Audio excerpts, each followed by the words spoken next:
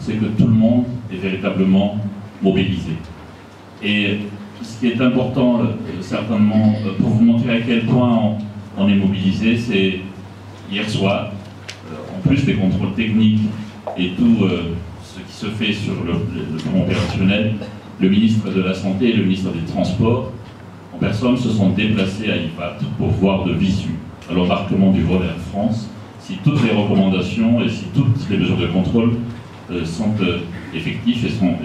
sont, bien en place. Je peux vous euh, confirmer que c'est le cas,